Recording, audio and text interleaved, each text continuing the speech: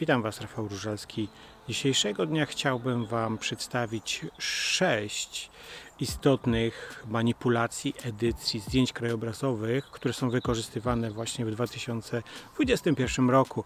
E, nie każdemu może się to spodobać. To wiemy, że nie każdemu się taka ingerencja podoba, ale fotografia cyfrowa pozwala na to, abyśmy mogli ją wykorzystywać naprawdę w dowolny sposób czy to się każdemu podoba, czy też nie. Oczywiście również e, idąc tym tropem, obecne social media lubią takie napompowane, tak to nazwijmy, e, zdjęcia, więc e, a to social media to jesteśmy my sami, więc to samo przez się mówi, że takie zdjęcia są przyjmowane, podobają się. Niekoniecznie każdemu, ja to rozumiem i też nie jestem święty, bo niektóre z tych rzeczy, o których będzie mowa, również wykorzystuję, aby poprawić y, troszeczkę swoje zdjęcia, ponieważ to są techniki fotografii cyfrowej i praktycznie możemy to wykorzystywać czy nie. To jest tylko wedle własnego uznania. Pierwszą rzeczą, którą chciałbym poruszyć, to jest wprowadzanie nowych elementów do zdjęcia. Rozwijając ten temat, to tutaj chciałbym powiedzieć odnośnie y, na przykład wymiany nieba. Możemy w tej chwili bez problemu sobie wymienić niebo e, na dowolne, jakie byśmy chcieli. Czy to będą chmury, czy na przykład nocne niebo. E, to są istotne manipulacje, aby poprawić e, nasze zdjęcie. Dodawanie elementów również, na przykład jak ptaki, ludzie, gdzieś ktoś na przykład może stać i możemy mieć na przykład jedno zdjęcie, gdzie ktoś stoi, czy ja stoję i mogę sobie to zdjęcie gdzieś później dodawać do krajobrazu, y, że ten ludzki element jest malutki, sobie zeskalować i będzie świetnie współgrał z całością i będzie robił ten efekt wow tak zwany. Y, również to jest dodawanie mgieł, y, czy też poświat takich um, światła, tak zwane te sun rays, czyli tych, tych świateł takich od słońca, um, po to, żeby też zdjęcia były po prostu ciekawsze. Czasami, czasami jest ładnie, ale możemy zrobić jeszcze lepiej. Druga rzecz to jest usuwanie elementów dosyć istotnych w naszym zdjęciu. Usuwamy drzewa, usuwamy linie elektryczne, usuwamy płoty, usuwamy samochody, usuwamy liście, czasami gałęzie. E, wiadomo, czasami dla estetyki i nawet ja sam ten temat poruszam, że mogę coś usunąć później, ponieważ no, jest coś, czego nie mogę ja usunąć ręcznie gdzieś, no to sobie tam powiedzmy wyczyszczę, że tak powiem, ale to wiele osób właśnie robi i jak i również, co chyba, no to będzie chyba najbardziej dozwolone, usuwanie flar, jakichś odbić od słońca, tak żeby to liwelować e, i brudu z matrycy również, więc tutaj tu raczej wiadomo, to jest estetyka zdjęcia, ale no, ludzie niektórzy usuwają pierwsze plany, na przykład manipulując nimi, żeby to wszystko ładniej wyglądało, bo czasami coś nam wchodzi to dosyć mocno, jak widzicie mnie, i coś mocno na przykład tu wchodzi, no tą część na przykład można by było wygumkować, że tak powiem, żeby ten cały obraz był nieskazitelny, czy też bardziej czytelny dla odbiorcy. Trzeci element to jest poprawianie zniekształceń wykonanych przez obiektyw, czyli przez optykę, używając szczególnie szerokokątnych obiektywów. Nasze mamy dystorsję, nasze obiektywy robią dystorsję i na przykład no, czasami po brzegach drzewa nam uciekają do środka, bardzo są krzywe, wówczas to poprawiamy ale powiedzmy, no tutaj w jakiś sposób, no to by było zrozumiałe, żeby to wszystko było proste, ale czasami e, niektórzy sięgają dosyć mocną ingerencję, na przykład fotografując góry, gdzie przy użyciu szerokokątnego obiektywu cała perspektywa nam się spłaszcza. Ona się nam rozjeżdża, te góry nie wyglądają tak, je widzimy, takie potężne, tylko zaczynają się robić takie naleśnikowe. Na pewno to zwróciliście na to uwagę, że to co widzicie, a później na zdjęciu, to wygląda całkiem inaczej. Więc są odpowiednie narzędzia w Photoshopie takie, żeby po prostu można by było te góry troszeczkę podnieść. Ok, czasami można, też czasami podnoszę, ponieważ to wygląda nieładnie, takie, te, te góry takie naleśnikowe, ale niektórzy robią z tych takich zwykłych gór no naprawdę takie skaliste, z takich Bieszczad można zrobić Tatry. Więc e, to jest kwestia smaku, ale no, to jest możliwe. Również ja tutaj nie mówię o korekcji obiektywu, ponieważ no, ta automatyczna korekcja, gdzie możemy sobie kliknąć i wszystko nam się gdzieś ten profil obiektywu wskoczy. Ja nie mówię o tym. Mówię o większej ingerencji, gdzie manipulujemy naszą perspektywę i sobie podnosimy, przesuwamy e, różne elementy. Czwarta rzecz, o której chciałbym wspomnieć, jest ostatnio dosyć popularne, to jest wykorzystywanie kilku ogniskowych w jednym kadrze. Już Wam tłumaczę, na czym to polega. I poniekąd też to ma sens.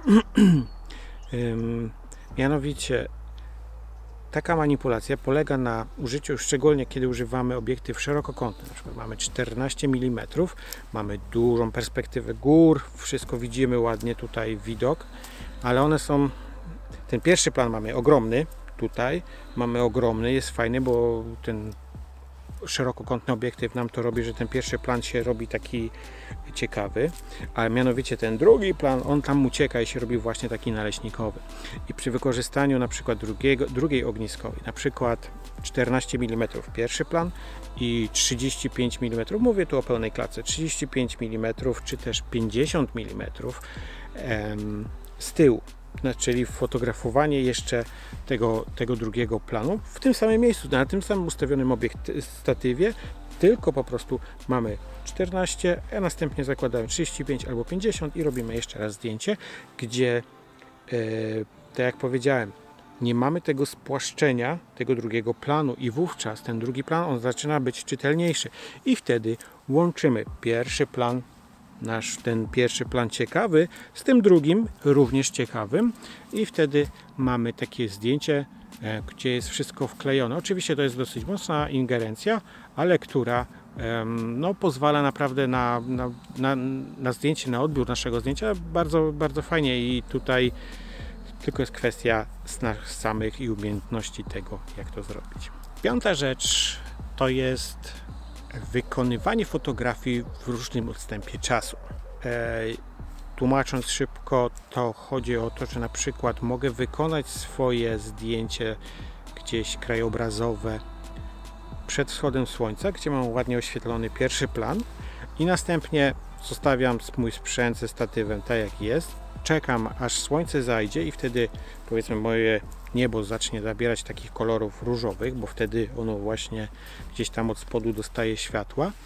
I wtedy moje niebo zastępuje z pierwszego zdjęcia, moje, z pierwszego zdjęcia zastępuje zdjęcie z tym drugim, z tym kolorowym, czyli mam ładnie naświetlony pierwszy plan i drugi plan mam z pięknym, kolorowym niebem. Oczywiście wszystko to możecie powiedzieć, o to będzie wyglądało dziwnie.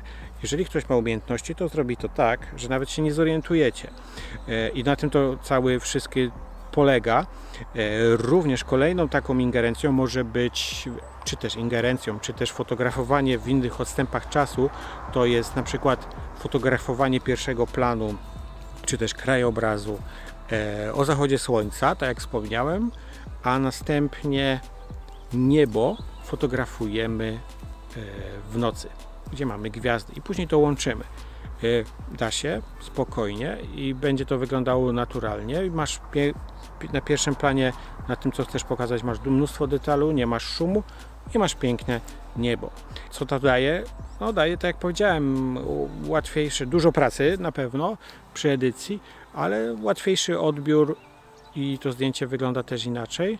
I nawet takie rzeczy to robi się też, że tak powiem, w fotografii analogowej, gdzie masz podwójną ekspozycję i, i wtedy można jedną ekspozycję wykonać właśnie przed y, ciemnościami całymi nieba, czyli o, o zachodzie słońca, gdzieś gdzie masz troszeczkę światła i następnie wykonujesz w nocy kolejne naświetlanie. Oczywiście to są filtry i tak dalej, to, to pomijam, ale też się da taką manipulację zrobić. Szósta edycja, manipulacja to łączenie zdjęć i najlepszych ujęć w jednej sekwencji. Czyli jestem nad morzem i to mi się zdarzyło też zrobić. Przyznaję się bez bicia i, i efekt jest taki właśnie, jaki byśmy oczekiwali. Więc już, już Wam tłumaczę na czym to polega. Jestem nad morzem, mam falę i ustawiony statyw i robię na przykład, mam przez jakiś czas robię fale i one gdzieś tu jest jedna, druga, trzecia, czwarta, e, ale w całości w jednym kadrze, jak to zrobisz, raczej na jednym ujęciu, no to tam, tam gdzieś poszło ładnie, a z przodu tutaj masz bez niczego nic się nie dzieje. Więc łączysz elementy z każdego zdjęcia, ponieważ kadr ma, na statywie masz apart, więc łączysz dosyć łatwo to jest zrobić akurat. Łączysz ciekawe te ujęcia, które masz w jedność i w jedno zdjęcie, które później powstaje naprawdę dosyć spektakularne. E, to, to ta manipulacja no polega tylko, to jest chyba jedna z najprostszych, ponieważ e, polega na tym, że łączymy to wszystko. Oczywiście światło się zmienia, więc te odstępy czasu tutaj nie mogą być jakieś ogromne, ale powiedzmy w odstępach, jak mamy fale dosyć mocne, to możemy w ciągu minuty zrobić naprawdę dosyć dużo zdjęć, e, więc ten odstęp czasu tutaj nie ma, żeby to się to wszystko pozmieniało aż tak, a nasze zdjęcie będzie dosyć ciekawe, ponieważ będziemy tu mieli fale, tu będziemy mieli fale, czy też te rozpryski takie dosyć ciekawe, więc ta dramaturgia dramaturgia na tych zdjęciach będzie dosyć yy, duża. Tak. Mam nadzieję, że, że mnie nie, nie zlinczujecie za to, ale słuchajcie, to nie chodzi o to. Każdy, każdy uważa i robi to, co chce i na tyle, ile chce. Jeżeli ludzie poznają w tej chwili takie możliwości edycji, które właśnie ja Wam przedstawiłem. Możecie o nich czasami nawet nie wiedzieć, y, że coś takiego się robi. Patrzycie na zdjęcia, no w końcu te piękne zdjęcia jakoś powstają. E, czasami ma się szczęście jeżdżąc na plener, masz to, to jedno wyjątkowe zdjęcie raz na jakiś czas, ale często mieć aż tyle szczęścia, to, to naprawdę może być ciekawe, e, jak to robić. Więc y, może i Wam się też takie przyda inspiracja. Ja wiem, czy inspiracja, może zaciekawienie, sprawdzenie tematu, ponieważ ja rozumiem, że nie każdemu będzie to odpowiadać, ale warto znać, jak ja to zawsze mówię, warto znać różne metody edycji zdjęć, czy też manipulacji, które czasami mogą nam uratować życie, ponieważ nie zawsze jest prosto, nie zawsze jest łatwo. Przychodzimy, ustawiamy i robimy zdjęcie. Czasami trzeba się posilić niestety kilkoma zdjęciami, żeby zrobić jedno, e, ale to są nasze umiejętności. Ale to od nas samych zależy, czy posuniemy się aż tak daleko, czy też nie. Kwestia gustu. E, dziękuję bardzo Wam. Mam nadzieję, że Was troszeczkę zainspirował, nie zdołował ponieważ, tak jak zawsze powtarzam, to jest fotografia cyfrowa. Fotografia cyfrowa nie ma nic wspólnego z praktycznie z analogową, bo daje nam totalną manipulację, zrobienie wszystkiego, czego, czego się da. I ciężko nawet powiedzieć, pliki nasze RAW, JPEGi to są pliki graficzne, tak się nazywają. Więc e, fotografia cyfrowa jest taka, jaka jest daje takie możliwości, jak jest, a my jesteśmy jacy jesteśmy i chcemy to, co chcemy robić, czy też mamy umiejętności takie, jakie mamy i chcemy robić coś, czy też pokazać bardziej interesująco.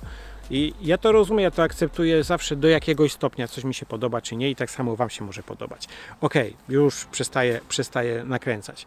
E, słuchajcie, dziękuję bardzo, że, że byliście ze mną. Mam nadzieję, że Wam ten film się podobał, czy też Was zainspirował w jakiś sposób. Jeżeli macie jakieś pytania, piszcie w komentarzach. A jeśli możecie, kliknijcie w górę, dzielcie się tymi filmami. Trzymajcie się i pozdrawiam. Cześć, Rafał Różalski.